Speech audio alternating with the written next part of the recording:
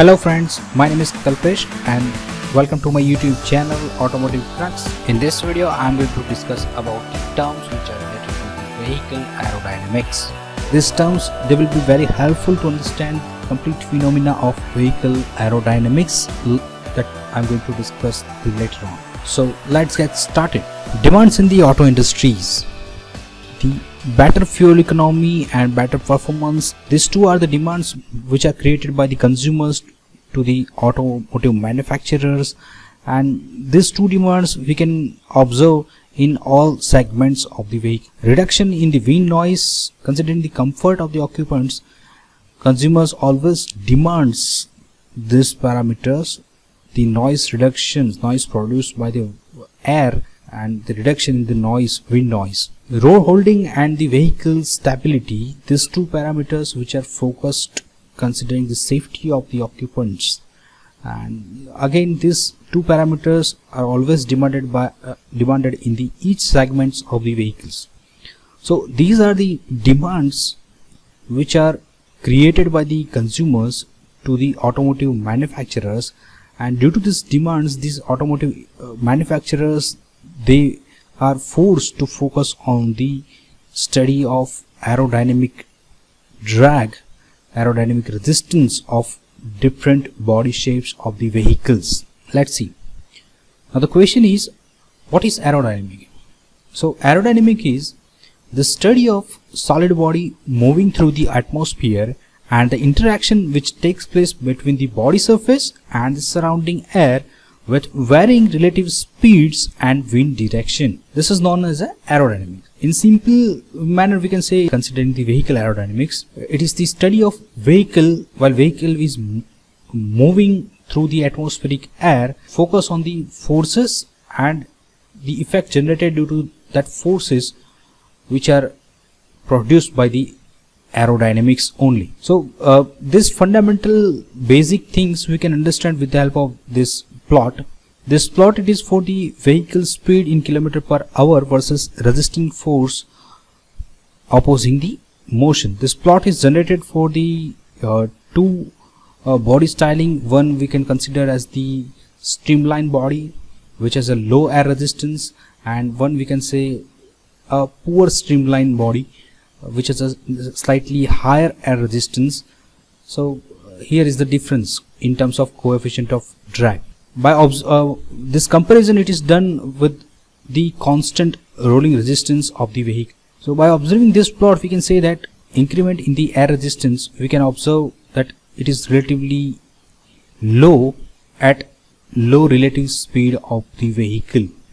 As the vehicle speed increases and reaches up to uh, the certain speed we can find the sudden increment in the air resistance sudden increment in the aerodynamic drag. This low air, air resistance which is for the highly streamlined body style uh, of any vehicle body styling it is the area by which we can uh, we can reduce the aerodynamic drag. Body styling has to accommodate the passengers and the luggage space the functional functional powertrain steering suspension and more uh, mechanical uh, units. Okay. Thus vehicle design will conflict with the minimizing the body surface drag so that the body shape finally accepted is nearly always a compromise. So automotive manufacturers has to consider such kind of parameters uh, while uh, choosing a body style for any segments of the vehicles. Now the first term is boundary layer. Boundary layer we can understand uh, with the help of this figure we are discussing the aerodynamics. That means air it is the moving fluid. Air has a viscosity. Viscosity that means it is the internal friction between the adjacent layer of the air. Whenever there is a relative air movement consequently when there is a sliding between the adjacent layer of air energy is dissipated. Energy is dissipated due to the friction of two adjacent layers of air. In this figure you can observe this indicates the adjacent layer of the air and this V1, V2, V3, V4 and V5 they indicates the velocity of the adjacent layers. This is the surface of body. solid surface. When air flows over the thin body, boundary layer is formed. Now what does it mean?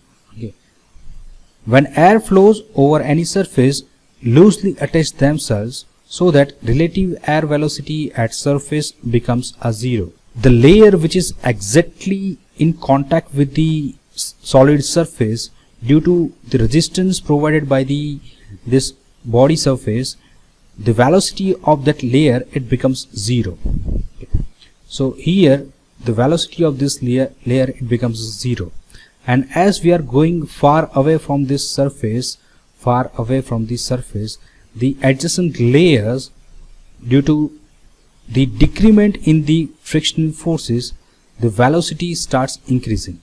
And at certain level we are getting the velocity which is equal to the free stream velocity of moving air.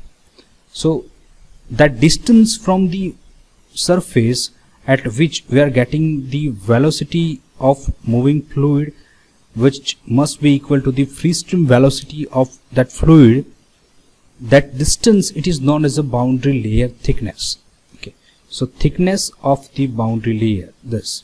Uh, we can understand that higher the resistance provided by the surface we are getting higher thickness of boundary layer. If the surface provides less resistance we are getting the this thickness of boundary layer it, it will be a quite small. So this skin friction. Skin friction we can understand with the help of the simple example of moving plate considered here. Skin friction it is restraining force preventing a thin plate placed edgewise to an oncoming airstream being dragged along with. In this figure you can observe that this is our plate, thin plate and these are the rollers. In this case the direction of airstream it is in this direction. Due to the skin friction produced at the surface it tends to move in the same direction. That is called the dragging of this plate and this phenomena is generated due to the skin friction. So the skin friction is also known as a viscous resistance generated within the boundary layer and it depends on the surface area on which air flows, the degree of surface roughness or the smoothness we can say and the relative air speed. Higher the air speed, the dragging force it will be higher. The surface finish. The thickness of boundary layer is influenced by the surface finish. We can observe this phenomena in this figure. This figure shows the boundary layer thickness for rough surface and the smooth surface. In both figure we have a uh, thickness of the boundary layer. Uh, this is for the rough surface, this is for the smooth surface. Now in the rough surface we can observe that here at this point the velocity of the boundary layer due to the highest friction it becomes zero and as we are going far away from the this surface the velocity it starts increasing due to the less frictional force. So these arrows it indicates the velocity increment in the velocity. And this parabolic curve it indicates the decrement in the velocity. In the case of rough surface we are getting the thickness of the boundary layer it is equals to we can say up to this point. While comparing with the same free uh, with the same air velocity and if we are placing a smooth surface in in place of the rough surface here is the smooth surface. Okay.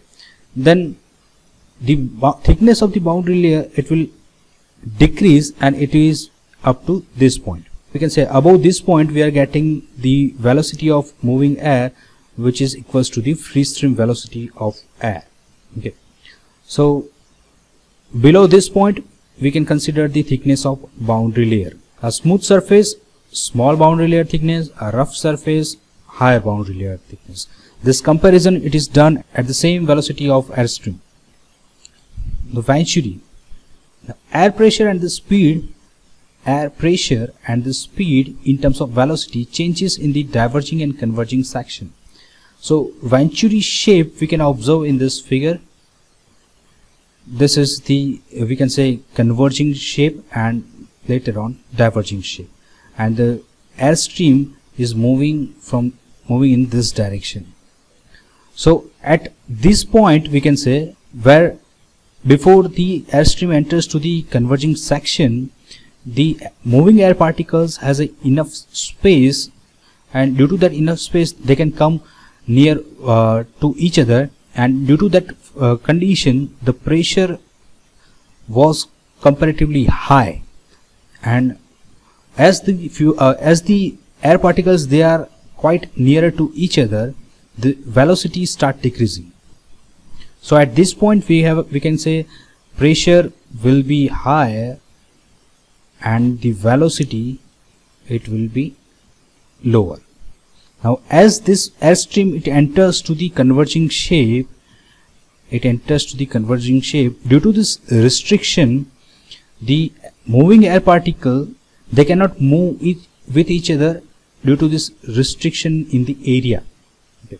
and due to this here the pressure drops occurs pressure drops and velocity increases and this will occur due continuously till this point. This we are considering as a throat throat of the uh, this venturi okay. so at this point we are getting the lowest pressure of the whole channel. Now once this airstream it enters to the diverging section this section okay, now air particle has enough space and due to that enough space again air particles they comes they, they come nearer to each other and due to this phenomena the pressure increases and velocity starts decreasing. So this phenomena occurs in the venturi shape. As streamline as streamline phenomena we can understand with the help of this figure. In this figure we considered a sedan car which is moving in the uh, atmospheric air. So we can say that this moving car displaces the air ahead so that the air is forced to flow around and towards the rear the flow pattern of air movement around the car can be visualized by the air streamline so air streamline uh, air streamline it will be helpful to understand the flow pattern around the bodies of the vehicle. Streamline broadly follows the contour of the body but any sudden changes it disturbs the streamline. For example, you can consider the side mirror or uh, the windscreen. While moving airstream, it follows the contour of the body profile and it comes across any sudden changes of the body styling. For example, we are considering this uh, windscreen. This shape it creates highest resistance and at this point we are getting the highest pressure of moving airstream. This type of study we can uh, understand with the help of airstream line.